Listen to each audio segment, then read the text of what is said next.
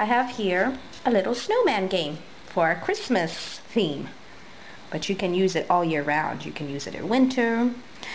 I made these little foam circles. You can also just use regular paper to make it easier.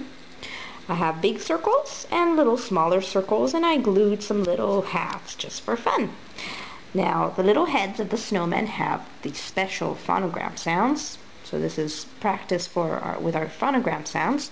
And the big circles have words that have blanks for the sounds. And it's all related to Christmas or winter, so it's not too difficult.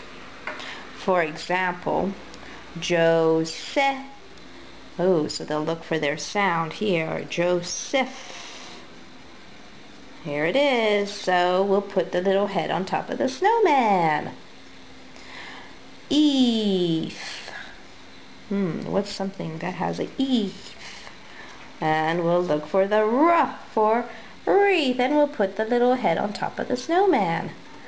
Sleep. It's probably little baby Jesus sleeping. So we'll find the E sound.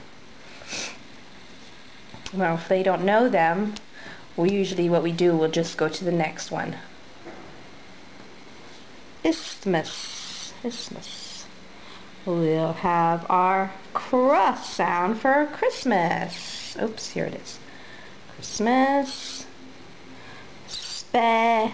Hmm, Christmas is special, or we get special gifts, or we have special events.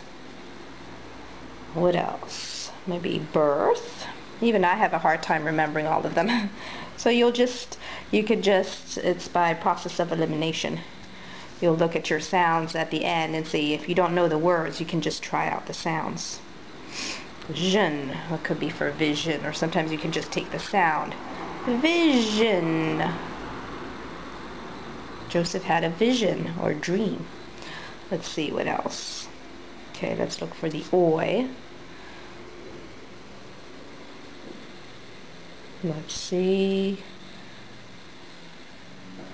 Noise. Oh, you don't want to make any noise for sleeping baby.